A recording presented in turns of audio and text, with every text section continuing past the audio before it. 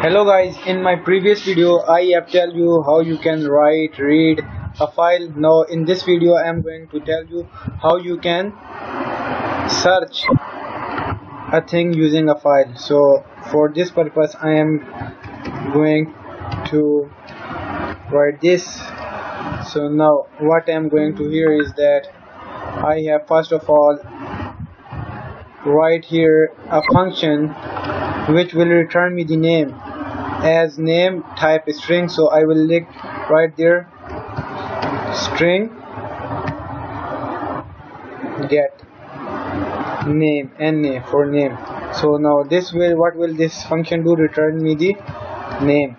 So what I'm going here is that I am taking that enter the name you want to search. So here it will I am declaring here a string na so this will search in it after it I am creating a stream object because I am going to read my file. So file then I am going to file dot open wait a while I am going from here.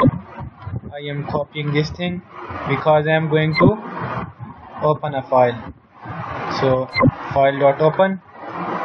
Now after it I am going to read my file while then file then what will happen? File dot read sorry sorry sorry. Sorry for this thing. File dot read. Character static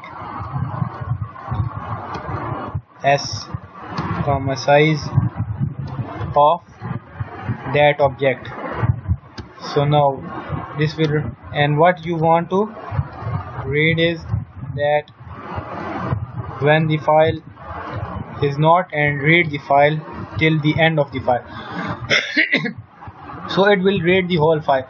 So now we have to again put a if condition if na that string name equal equals to student dot student dot get name equal equals to this then what you have to do is s dot display.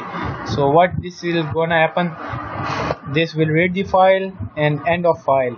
And this is comparing the both names. And then after it the if condition after it I am going to close the file.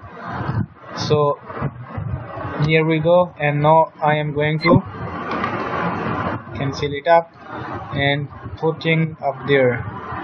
So this was this thing and get ch control x and control v. So now i'm going to debug the program. So here you go. So wait a while. Here i have to write that press 3 4 search by name. So that was the thing. No no we will go there. And first of all I will write the read the file so you can see the results. Now I am going to search the file. So I am going to search Hamad. Here you go.